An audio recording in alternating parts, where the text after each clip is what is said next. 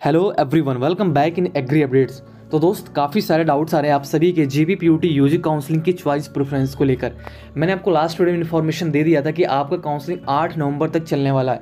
इसलिए आपको आराम से बिल्कुल सोच समझ के चॉइस प्रेफरेंस करनी अपने रैंक के अकॉर्डिंग ठीक है? तो काफ़ी लोग ऐसे हैं जो पहले आगे चॉइस फिलअप कर लिए हैं मे बी उनको आगे मिल जाए कोर्स ठीक है? तो यार यहाँ पे एक प्रॉब्लम आ रही है। काफ़ी सारे लोग ये डाउट्स आ रहे हैं कि मेरी ये गलत हो गई वो मिस्टेक हो गई तो क्या वो एडिट हो सकता है? बिल्कुल ऐसा कुछ भी नहीं है। अगर आपने आगे फिलअप करके कुछ मिस्टेक कर लिया है तो एडिट नहीं होगा, ठीक है? इसलिए मैंने आपको बताया था कि बिल्कुल आपको जल्दबाजी नहीं करनी है। लेकिन उसके बावजूद भी आप लोग इस बात को फॉलो नहीं किए और मिस्टेक करके फिर आप मेरे पास ही आ रहे हो, ठीक है? ये गलत बात है, अगर आप मुझे फॉलो कर रहे हो तो यार मैं जो बता रहा हूँ, आप उसको अच्छे से फॉलो कर लीजिएगा, क्योंकि अभी आठ नवंबर तक का लंबा टाइम है, ठीक है? तो अभी यार आपके पास पूरे पूरे तरीके से पूरे पंद्रह दिन का टाइम है। इस टाइम गैप बिटवीन में आप आराम से चॉइस प्रेफरेंस कर सकते हो। सो बात की बात आज के इस में बात करते हैं कि चॉइस फिलिंग कैसे करनी है और कुछ इंपॉर्टेंट इंस्ट्रक्शन जो आपको फॉलो करने हैं और इन प्रोसेस आगे आपको क्या क्या करना है, ठीक है? तो चलिए वीडियो को स्टार्ट करते हैं, ठीक है? तो वीडियो के डिस्क्रिप्शन में या कमेंट बॉक्स में आपको ऑनलाइन काउंसलिंग की लिंक मिल जाएगी। लिंक ओपन करते ही आपके सामने एक ऐसा पेज ओपन होगा, ठीक है? यहाँ पे। तो ये जब पेज ओपन होगा तो आपको यहाँ पे क्या करना है? सिंपली यहाँ पे दो ऑप्शन दिए गए हैं apply for online counselling UG first round का। Again apply for online counselling M tech M C A first round का, ठीक है? तो आप यूजी हैं तो यूजी या फिर एम सी ए जो भी हैं, आप उसको ओपन कर लीजिएगा, ठीक है? सेकेंड ऑप्शन यहाँ पे ओपन होगा आपकी रजिस्ट्रेशन आईडी और पासवर्ड का, ठीक है? यहाँ पे अपना रजिस्ट्रेशन नंबर पासवर्ड के थ्रू लॉगिन करके अपनी जो प्रोफ़ाइल है उसको ओपन करके काउंसलिंग को स्टार्ट कर सकते हैं, ठीक है? अगर आप अपना चॉइस फिलिंग में काउंसलिंग स्टार्ट करने से पहले ये यूज़र आईडी पासवर्ड अगर कुछ भी भूल गए हैं तो यहाँ पर आप इसको फॉरगेट करके इसको रिकवर भी कर सकते हैं, ठीक है? तो चलिए हम आपको दिखा देते हैं, जैसे कि मेरे पास किसी बंदे ने मुझे अपनी बहुत पहले थैंक यू उनको, क्योंकि मेरे पास जो पहले थे बहुत सारे लोग की आईडी थी, लेकिन वो सेवन एटी फाइव प्लस थे। सो इस वजह से मैं वीडियो क्रिएट नहीं कर पा रहा था बट फिर भी मुझे मिली अभी और चलिए इसको ओपन करो, जैसे लॉगिन करते हो, आपके सामने आपकी पूरी प्रोफ़ाइल ओपन हो जाती है। यहाँ पे तीन स्टेप में आपकी काउंसलिंग कंप्लीट करनी पहली स्टेप है आपकी चॉइस प्रेफरेंस की सेकंड स्टेप डॉक्यूमेंट अपलोड करने की थर्ड स्टेप है काउंसलिंग फ़ी पे करने की, ठीक है? तो पहले स्टेप को ओपन करेंगे चॉइस प्रेफरेंस कैसे करना है, उसके बाद सेकेंड स्टेप में आपको अपने टेन ट्वेल्थ या फिर डोमिसाइल सर्टिफिकेट ये सब चीज़ें पीडीएफ फॉर्म में under five twelve K B में अपलोड करनी है, ठीक है? उसके बाद थर्ड राउंड में काउंसलिंग फ़ी पे करनी है।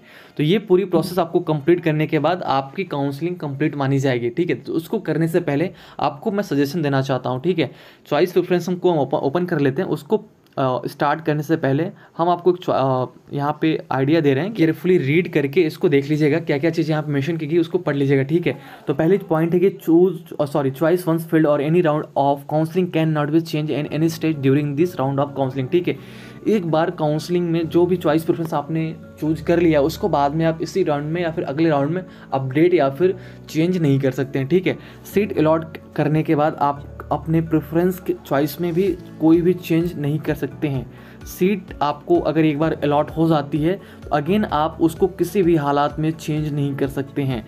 थर्ड यहाँ पे फोर्थ यहाँ पे मेंशन किया गया कि आप अगर जो फाइव हंड्रेड रुपये काउंसलिंग फ़ी पे करते हैं, वो जो कि नॉन रिफंडेबल फ़ी है, इसको देख लीजिएगा कि वो पैसा आपको रिटर्न नहीं होगा, आपको सीट अलॉट हो या फिर नहीं हो, ठीक है? आपका जो फ़ी है, वो रिटर्न नहीं होगा। सीट अलॉट होने के बाद आप कॉलेज में रिपोर्टिंग करने जाओगे, उस, ये सारी चीज़ें यहाँ पे मेंशन की गई हैं। और यहाँ पे अगेन आपको फ़ी भी दिया गया, ठीक है? आफ्टर अलॉटमेंट आपको पहले यहाँ पे फ़ी सबमिट करना पड़ेगा, ठीक है, जिसमें कि B S C A G community and B F S C B tech food tech में forty eight thousand seven forty one ये फ़र्स्ट सेमेस्टर का फ़ी है। बी बी एस सी में पूरा एनुअल चार्ज लगता है, जो कि one lakh six hundred six thousand eight hundred five fifty one है। तो ऐसे करके आप अपना कोर्स का सेमेस्टर वाइज या फिर एनुअल वाइज फ़ी देख सकते हैं, ठीक है? कुछ और चीज़ यहाँ मेंशन की आप इसको देख लीजिएगा। जो भी प्रॉब्लम्स आएगी आप कमेंट बॉक्स में कमेंट कर सकते हो, ठीक है? तो एक बार इसको केयरफुली रीड करके काउंसलिंग को स्टार्ट कीजिएगा, जिन्होंने अभी तक नहीं किया, ठीक है? तो दोस्त, यहाँ पे आपको दो ब्लॉग दिख रहे होंगे, जिसमें पहले में है कि लिस्ट आप choice available for you and यहाँ पे है सिलेक्टेड चॉइस, ठीक है? यहाँ पे वो लिस्ट आपको मिलेगी जो आपके लिए अवेलेबल है, आपको कोर्स के लिए, यहाँ पे वो चॉइस आपको करनी है, जो आप प्रेफरेंस वाइज आपको यहाँ पे चॉइस सेटअप करनी है, ठीक है? यहाँ पे इस बार का कुछ एरो देखने को मिलेंगे साइड में, फिर ऊपर, नीचे तो ये सब चीज़ें बहुत लोग को समझ में नहीं आती है, ठीक है? अभी आपको करना क्या है, जैसे कि मैं अगर यहाँ पे टच करता हूँ तो जो भी कोर्स अवेलेबल है, वो मुझे दिख जाएगा, ठीक है?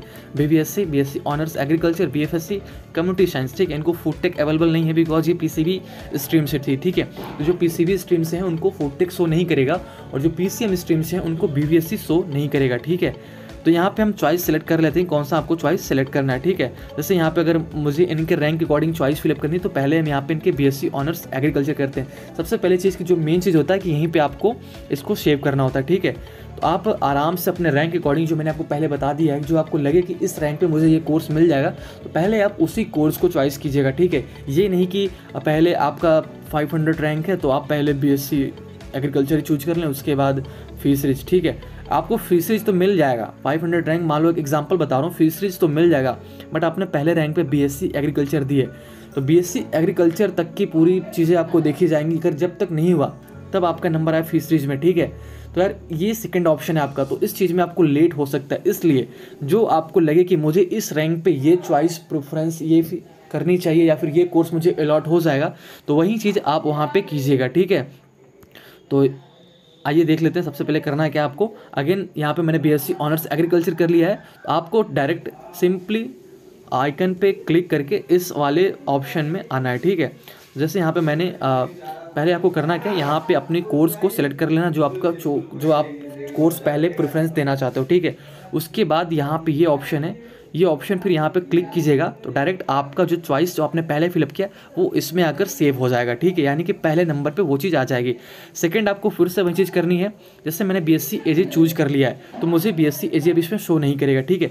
अगेन मैं यहाँ पर बी चूज़ करता हूँ, ठीक है? तो बी चूज़ कर लेते हैं। तो यहाँ पर फिर से आपको इस वाले आइकॉन पर क्लिक करना है, ठीक है? तो इस वाले आइकॉन पे क्लिक करने पे ये आपका बी जो जो बी है, वो आपका इस वाले ब्लॉक में आके सेव हो जाएगा, ठीक है? तो चलिए इसको भी देख लेते हैं। ठीक है तो ये भी देखिए, इसमें आ गया। अब यहाँ पे आपको केवल दो कोर्स देखने को मिलेंगे बी और कम्युनिटी साइंस ठीक है? तो अब इस बार हम फिर से इसको ओपन करते हैं और कम्युनिटी साइंस को चूज़ कर लेते हैं। क्योंकि मुझे पता है कि 191 या फिर जो भी इनका रैंक है, उसके अकॉर्डिंग इनको बी नहीं मिल पाएगा।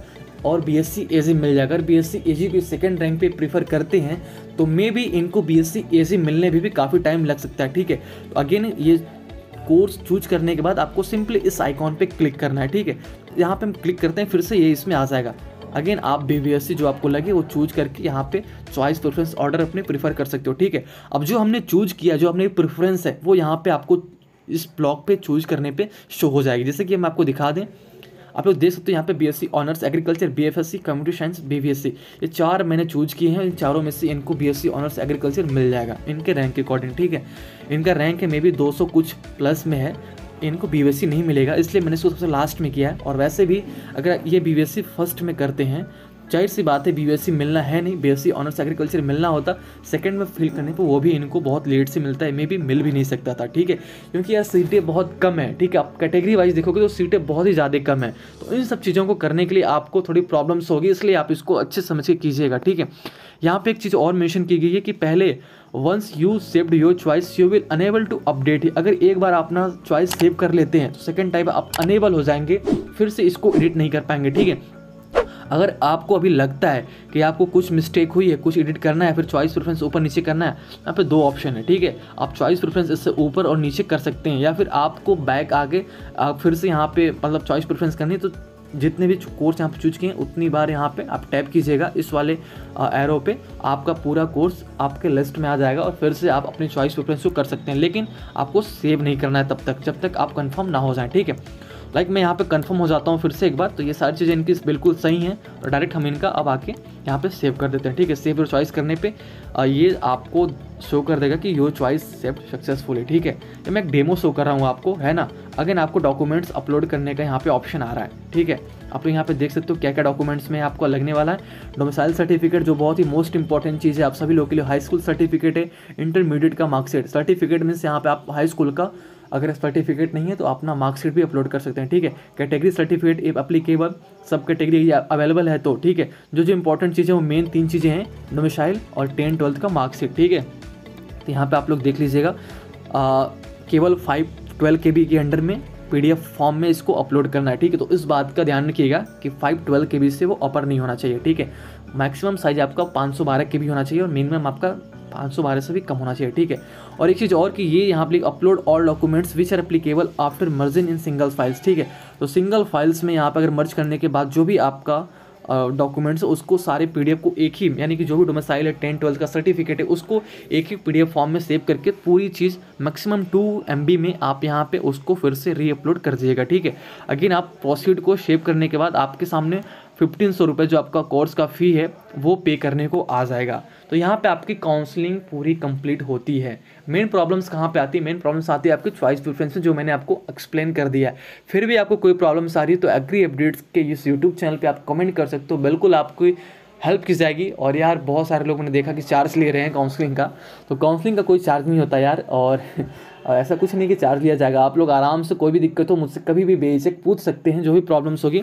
और हाँ ये फाइव ट्वेल्व के बी के अंडर में अपना पी डी फॉर्म में इस डॉक्यूमेंट्स को अपलोड कर दीजिएगा। उसके बाद सेव करने के बाद पाँच सौ रुपये यहाँ पे आपको फ़ी पे करनी है। वो कर लीजिएगा काउंसलिंग आपकी कंप्लीट हो जाएगी, ठीक है? तो ये थी छोटी सी अपडेट मिलते हैं नए वीडियो में। थैंक यू फॉर वॉचिंग जो भी प्रॉब्लम्स आ रही है और कमेंट कर देना, मैं फिर से बोल रहा हूँ जल्दबाजी नहीं करनी, अगर फिर से प्रॉब्लम आ रही कुछ भी समझ नहीं आ रहा है तो टेलीग्राम ग्रुप पर आके या फिर व्हाट्सअप पर आके आप मुझसे एक बार पर्सनली आस्क कर लेना, ठीक है? है ना? तो थैंक यू फॉर वॉचिंग मिलते हैं नए वीडियो में। Thank you so much